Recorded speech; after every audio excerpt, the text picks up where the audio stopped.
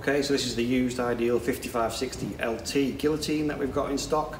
Uh, the 5560 LT is one below the flagship 72 model um, from Ideal. Uh, this particular model is the LT,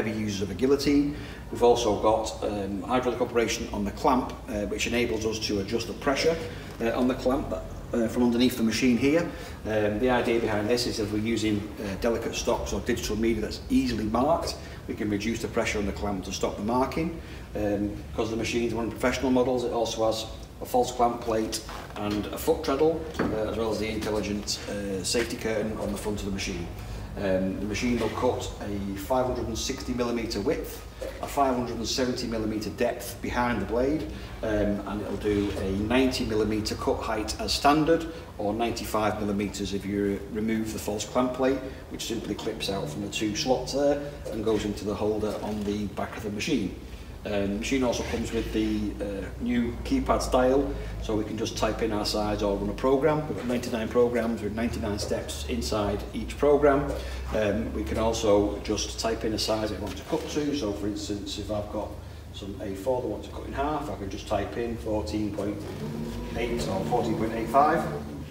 We can put our paper on and we can also see now the difference that the airbag makes. So you can see with the airbag on, we can slide the paper around put it over here on the overhead, you can see the difference the overhead makes to moving the paper around, which is very handy when you've got uh, heavy stock. For cutting, we just simply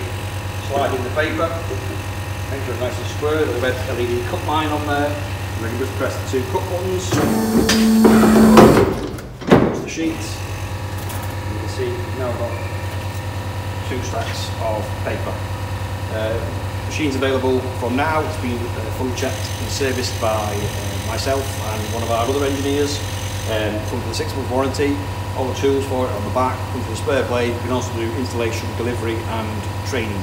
Uh, it's available on our website, 6995 plus eighty.